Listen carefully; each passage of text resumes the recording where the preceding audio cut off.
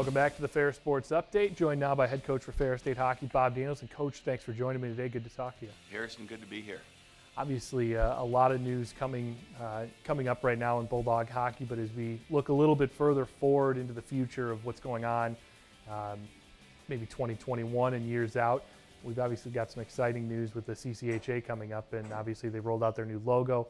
I know for you, as someone that really grew up as a coach in the CCHA, this has got to be pretty exciting for yourself. Yeah, it is, and uh, it, it uh, we've got one more year left with the WCHA. We're really looking forward to that. I felt like we've been a, a really good member of the WCHA since uh, since we started a number of years ago.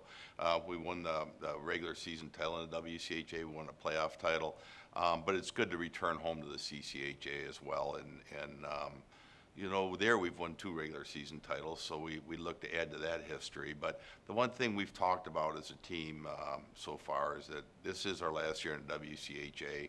It's a very historic conference, and we want to make sure we're a good member right through the 2021 season. Before we switch back to a little bit more WCHA talk, we did talk about uh, Don Lucia, the new commissioner of the CCHA. I know a guy that has a tremendous amount of cachet as a head coach, formerly in college hockey national champion. Um, we talk a little, we've also talked a little bit about St. Thomas. I think uh, it might show that right away on the job that Don Lucia has had a lot of pull as uh, St. Thomas goes Division One. It wasn't too long before they joined the CCHA. Yeah, we, we've got a great commissioner in Don Lucia, and he obviously he's got the coaching experience. I've known Don for 30 years. He used to coach at Alaska Fairbanks in, in the CCHA. Then he went on to Colorado College and then uh, and uh, the University of Minnesota. We played his teams over the years uh, at the University of Minnesota as well. So my relationship with him goes back 30 years, and he is uh, unbelievable person, integrity, oozes integrity, very well organized. Um, and he's going to do a terrific job. And you're right, you know, bringing St. Thomas in so early, and, and it's a great addition to the CCHA. It's uh, for those that aren't familiar with that program, they're they're located in the Twin Cities. Um, they do everything right. Um, they're going to be a, a, natural fit for all the institutions uh, that currently comprise the CCHA, and we're we're thrilled to have them.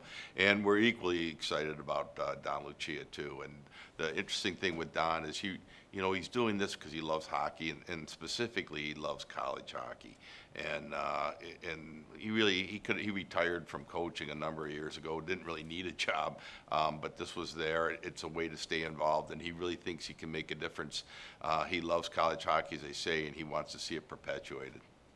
Obviously, wanted to be a good member of the WCHA. We look forward to this year, a hopeful chase for the MacNaughton Cup again, and a thing that will carry over to the CCHA next year. But as you look back towards uh, this year's team and this year's um, task at hand, we obviously don't know what's ahead in terms of schedule or anything yet, but um, how do you like the way your team, I guess, is coming together? I know it can be kind of tough to tell with a lot of Zoom meetings, but how do you like the team your way is built right now? I, I think we've got a pretty good team built. Um, you know, I'm like anybody else, though. Right now, the important thing is we, we want to get on the ice. We want to compete.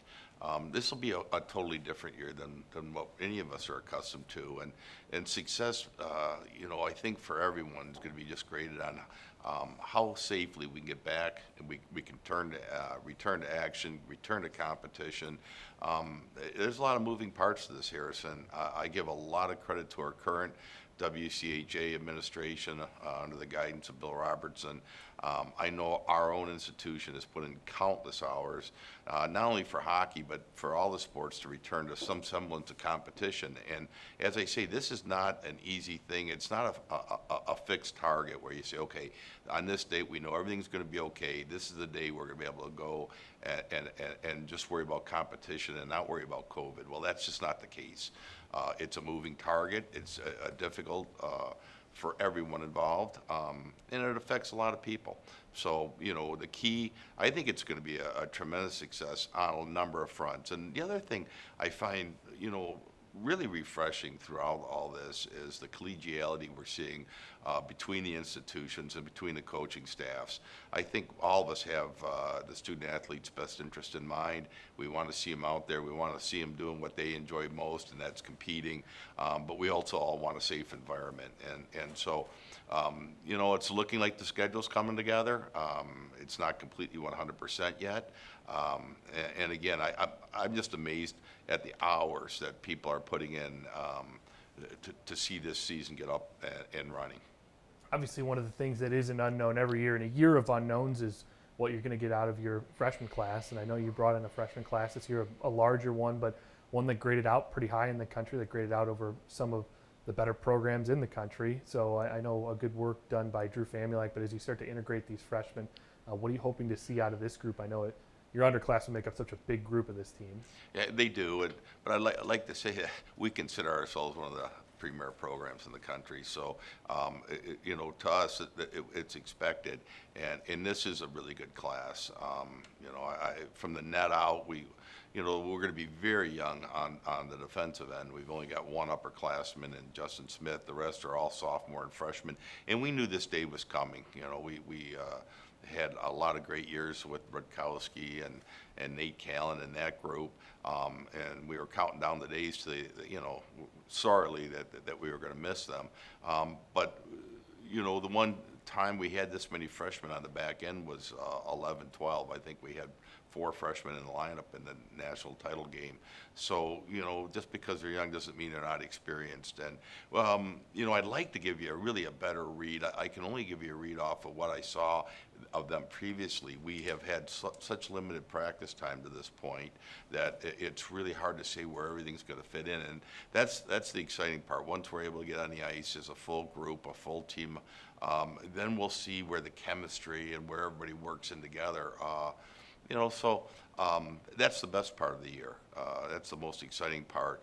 But we, we are, uh, you know, really looking um, for a lot from this freshman class, not only this year, but in the years to come. And the NCAA just came out with a, a ruling uh, in which all players will be given an extra year. Um, so that in any winter sport, so hockey obviously being a winter sport, um, doesn't matter how many games we play this year, all players will be granted another year eligibility, including our seniors, including the freshmen.